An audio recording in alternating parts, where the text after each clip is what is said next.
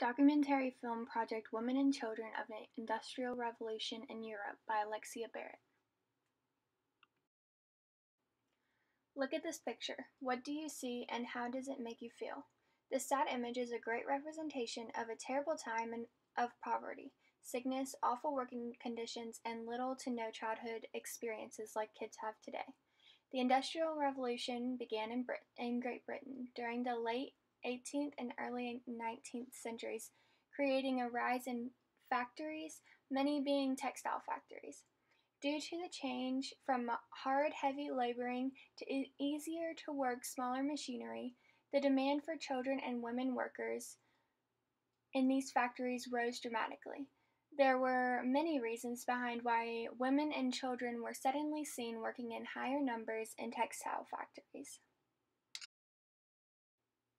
As factories started to pop up in the cities, taking the work from people who made fabric and other textiles by hand, people were forced to move to the cities to find work in mills and factories. There was a drastic drop in the demand for domestic workers such as caretakers, maids, nannies, etc., which put a lot of women out of work. While some were still able to remain in their job positions with the richest families of Britain, most women and children as young as six years old had to find jobs at factories to help the family survive. Women and children were paid a fraction of men's wages. Therefore, the factories chose to hire more of them to stay competitive in prices of goods. Children were typically paid the same amount, but at about age 16, there was a change in wage based on gender. At that point, women were paid less than men, and by age 30, they were paid one third of a man's actual wage.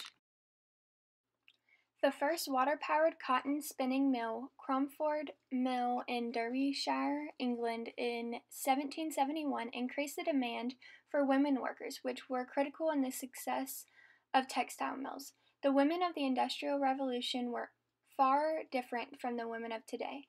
They were expected to go out of out to work for a fraction of the pay and a lot of times work the same hours as a man, just to come home and resume their household duties such as cooking, cleaning, and looking after the children. While this may sound similar to what many women face today, the circumstances were far different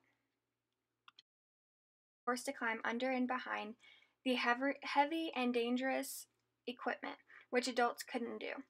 In the mines, children were forced to climb and carry or drag heavy equipment or coal through the tiny tunnels, sometimes forcing them to stay bent down or crawl the entire way, which often resulted in injury.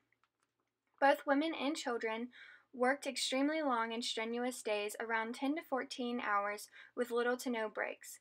This was extremely detrimental to their health because they worked and pushed their bodies for so many hours in horrific environments with little break for their body to rest and recuperate.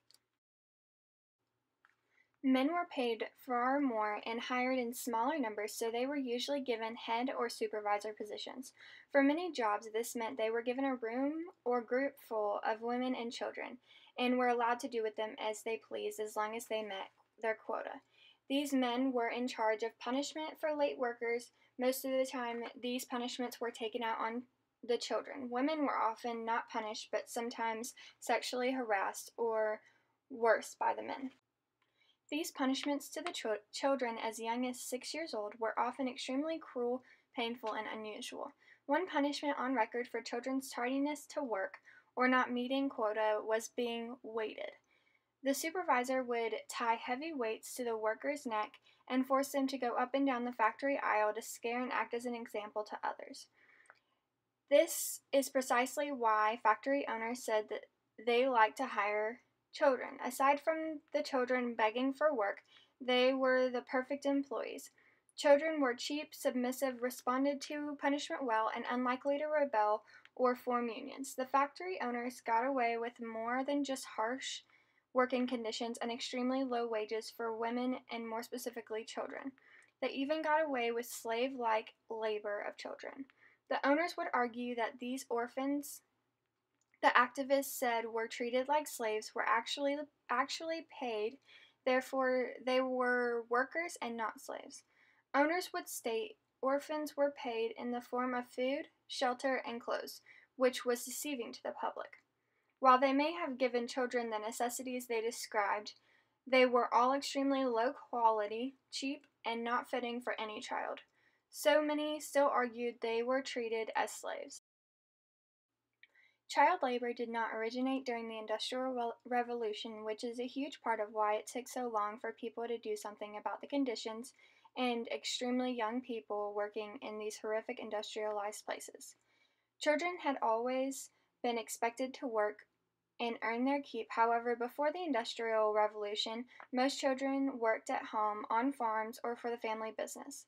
The conditions they worked in were far different from the ones they experienced in factories, mills, and mines. The children may have had to work long hours, but typically they had holidays and family time off, many breaks throughout the day, and far better working environments with less dangerous duties.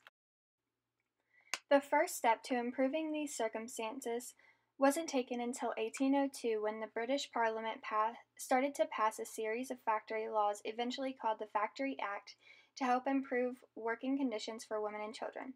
The act officially passed in 1833 limited the hours children of certain ages could work. For example, ages 9 to 13 could work a maximum of 8 hours a day. Ages 14 to 18 couldn't exceed a 12 hour workday. Also, Parliament's Act stated children under 9 were unable to work at all. Lastly, all children were forced to attend school for a minimum of two hours each day. All of these parts of the Act were a great step in the right direction, however, the lack of reinforcement and low fines to the factories for breaking the laws were too minimal. The laws were rarely followed.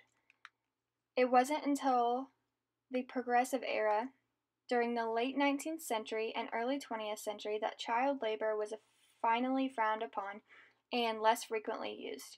Thanks to journalists, photographers, and other activists, the horrible work conditions and treatment for women and children had been exposed. Thank you for watching. Alexia Barrett, movie creator.